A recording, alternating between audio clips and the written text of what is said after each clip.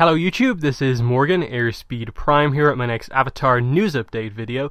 This one is going to be, uh, the news obviously, is that we have the North and South Part 2 and 3 product descriptions. So, uh, spoilers if you don't want to be, you know, potentially spoiled about what happened in Part 1, because obviously we're getting previews for Part 2 and 3 here, um, so it might uh, tip you off as to what exactly happens in Part 1. So, uh, anyway, for those of you sticking around, let's first go back and look at the North and South Part 1 description. What does that say? So it says, um, When Aang leaves to aid Zuko with the Kemurikage, Katara and Sokka return to the Southern Water Tribe by themselves. Katara is shocked to find that her beloved village has become a bustling city, with none other than her father Hakoda in charge. A northerner named Malina seems to be behind this change, pushing the North and South to be more unified, but what are what are her true goals? Um, so yeah, that book is coming out September 14th, 2016.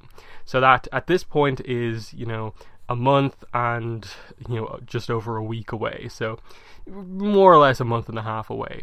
Um, so let's get into this part two description. We get here, um, after attempting to kidnap Katara and Sokka, Southerner Gilak leaves a haunting note for Hakoda. Soon you will see the truth, chieftain. The vow leaves everyone on edge, including Katara, who remains wary of the two tribes' integration. As Northerner Malina announces a partnership with the company owned by Toph Beifong's father, her own brother comes forward to defame her. Have Katara's worst fears been confirmed? So, a lot of interesting stuff here. First of all, a new character who seems to be presented as their our villain Though it's odd because Malina in part one is basically presented as like, oh, what are her true motives? What's she actually doing here? Yet here they seem to be like, okay, maybe she's good, and then something seems to happen where it's brought back up that she might be bad. So some interesting stuff happening here, but obviously, of course, it's North and South. We're dealing with the North and South kind of being unified again, and you can instantly see what the problems are going to be because we know the the south formed from the north. There was only a, initially there was only a northern tribe, and the southern tribe split off because of all the crazy rules and customs that the northern tribe had. So you can see what the problem is going to be when we're trying to unify them again, and that the north, as the kind of main tribe, is probably going to want to have some sort of a rule over what the southerners do, and that's going to cause a problem for people who are used to the freedom that they had had in the south, and you know having got so little support from the the north because of what happened because of the war. So you can see what the, the problems created are going to be. It's very much a kind of different but similar situation to the whole Yu Dao, uh, Fire Nation, Earth Kingdom claiming ownership of the same piece of land and, you know, who should have it to the new people coming in that are in charge, or the old people who um, have lived there for a while. So very interesting stuff. And yeah, so Katara is wary about the idea of the two tribes integrating. That's going to be interesting to see how they approach doing that. This idea that she comes home and instantly sees North and South unification, and she is kind of you know to some extent responsible for for helping the South be rebuilt and that she inspired Pakku, she kind of changed his mind and got him to come back and help rebuild the South, starting that relationship again. But did she want it to go this far? Like clearly the North isn't going to 100% change and fix everything just in the the time span since book 1 uh, when Katara was there. So you know, she, clearly some of the North stuff is still going to have an effect here, and a lot of that depends on what exactly Malina wants to do, and she's the one obviously pushing for the North and South to be combined, uh, unified, and here she is. She wants to announce a partnership with the company owned by Toph Beifong's father, so that's the Earth and Fire Refinery. So now they're trying to strike a deal with basically you know the it's a mining company effectively, which hints that you know in the part two cover people are saying potentially it's a ra- radio tower. I think initially I said it was like an oil drilling platform type thing. If that is indeed the case with Toph, that's why Toph is involved here. I can see that being the, the the issue, and that explains why Toph is coming in. It's that oh she's acting as a representative um, to the south uh, from her father, and that's why she's coming rather than going to the south to like explore the southern tribe herself because she's part of Team Avatar. No, it's more business related. So that's actually quite interesting to know kind of more details about why exactly Toph is going. Now, the wording on this is a little bit weird in that, like, as Northerner Malina announces a partnership, her brother comes first. So, Malina's brother, like, I, I first read that and was just like, wait, Sokka comes forward to defame Katara? But no, I think it's very much hinting that, uh, based on the wording, that it's Malina's brother comes forward to defame her. And what exactly is that? Um, and, you know, then there's the whole idea of, like, this southerner Gilak who attempted to kidnap Katara and Sokka. For what reason? leaving a note saying, Soon you will see the truth, chieftain. So clearly, this guy is someone who really believes in the South and thinks that the North coming in are going to be some sort of a problem. And let's get into the part 3 description because this adds another layer onto this whole situation. So, North and South part 3 description.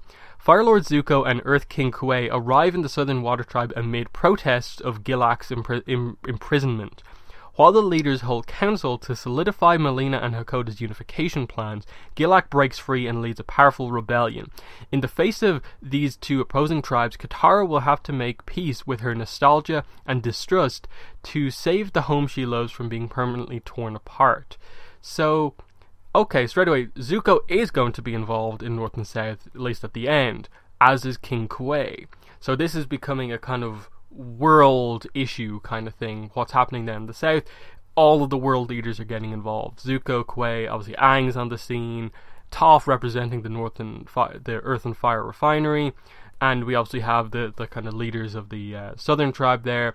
Interesting to see if they ever involve like uh, Chief Arnook or, or whoever's the chief of the North at this point in time in on this, and then people are protesting Gilak's imprisonment why? If he actually kidnapped, tried to kidnap Katara and um, Sokka, of course he should be imprisoned, but it hinted something more going on here that they believe that imprisoning him is this kind of sign that you don't care about what the Southerners feel about this North and South reunion. Is that the sort of thing they're trying to get across here? That um, the, the, some of the Southerners feel that Hakoda and this alliance with Malina is just you know, not listening to the people, that they don't want this um, unification, but they're forcing it through anyway. Then he breaks free and leads a rebellion, and obviously, like that seems to hint that he's more of a villain and trying to cause chaos here. But um, just in general, it's going to be interesting to see what really causes the huge rift here. Is it just the whole customs thing and tradition? Is it about leadership or something like that? Because ultimately, like at some point, what happens is that the chief of the north ends up being the chief of both tribes. But we also know that like Sokka was at certain points the chief of the south, or is it just a thing where like Unalaq overtook that position. When he came into power, he demanded that the South remove their chief and he be the chief of both. Is that what they were going for? And then what actually happens here is that the North is the overall Water Tribe chief, but there is a Southern Water Tribe chieftain just for ease of kind of having a leader down there. Um, but yeah, Katara will have to make peace with her nostalgia. So clearly she is not overly happy with the idea of like this new modern city that she's that she's gonna that's basically her home now and she kind of wishes things were a bit more simple and she's i suppose this is kind of hinting at her character arc. She's going to be very much like she doesn't like the change potentially initially but has to come to accept some of the change but is maybe against overchange or something like that. Um but yeah and distrust to save the home she loves from being permanently torn apart. So I'm almost getting the idea here that she's going to be against Malina for like almost all of this book, but ultimately Malina is actually going to be like a good character or something like that, and Katara is going to have to trust her in a key moment, and that will help save the day against this Gilak character. But um, yeah, the the only other thing here that doesn't specifically mention is that at San Diego Comic Con, they seem to hint that this book would cover the origins of the issues between the North and the South. And I took that as meaning that they were going to cover basically why the South formed in the first place and really get into the origin of both of the tribes or something like that. I'm kind of wondering now, does that mean that we're going to get a flashback kind of story type thing here? Kind of like Lady Tienhai in the Rift, uh, like Ursa's backstory in The Search um, the, the Kage story, the first Fire Lord in Smoke and Shadow. Is that what we're going to be getting here with the history of these tribes, or is it more that a lot of these characters are going to reference the way things were before, and we're not actually going to get to see that. It's just going to be like, here's a new issue, and it relates to something in the past that we're not actually going to get to see. So, overall, really interesting descriptions. Um, definitely add some extra layers to it. This Southerner Gilak, you know, further adding that Malina is probably going to be this character we we we as the audience even like flip flop on and that like oh is she good? Is she bad? Kind of like Katara. And then uh, there's just going to be a lot of interesting kind of political stuff going on here. Like I, I didn't expect Zuko and Kuei to be involved.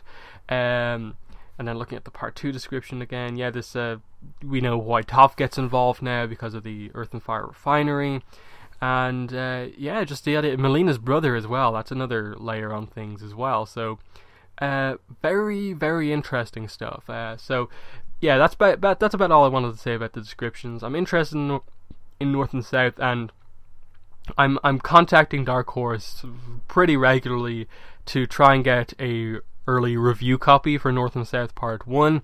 So definitely keep an eye on my channel, keep an eye on the site, Avatar And you might see a review pop up at some point. But I'm still obviously working on actually getting the review copy.